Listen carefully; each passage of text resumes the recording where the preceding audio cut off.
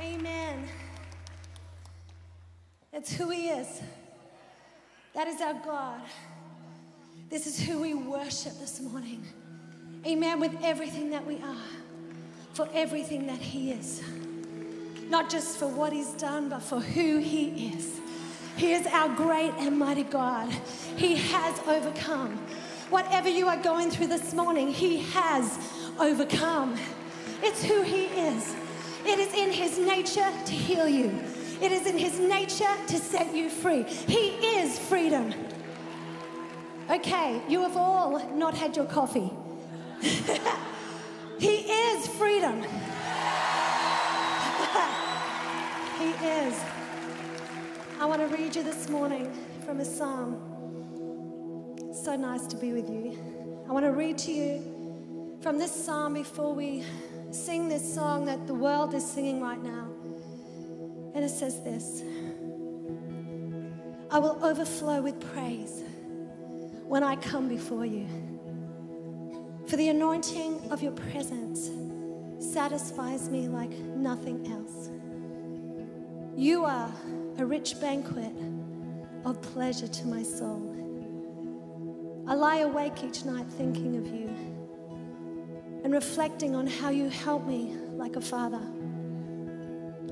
So I will sing through the night under your splendor shadow, offering up to you my songs of delight and my songs of joy. And with great passion, I pursue and I cling to you because I feel your grip on my life. Keep my soul close to your heart. Lord Jesus, we honor you above all else this morning.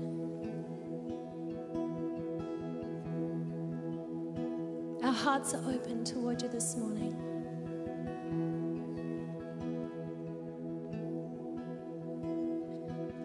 We love you, Jesus.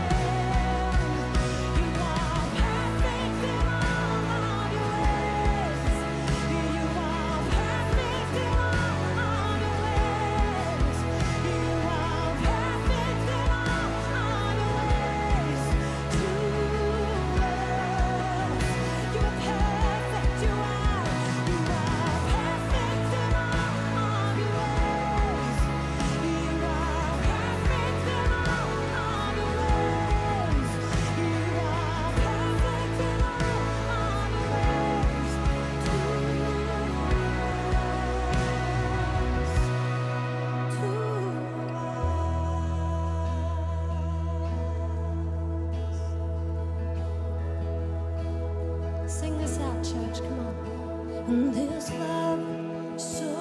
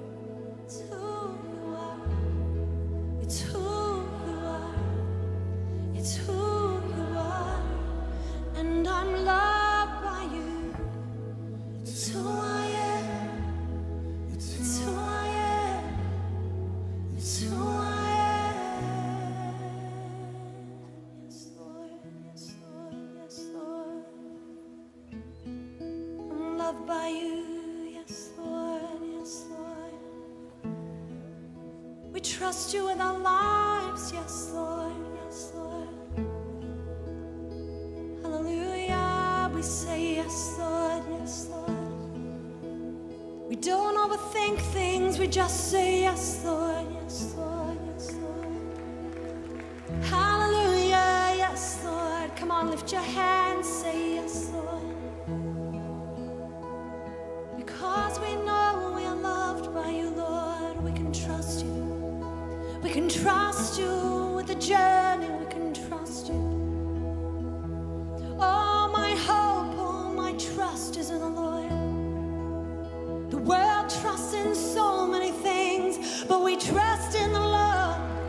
We trust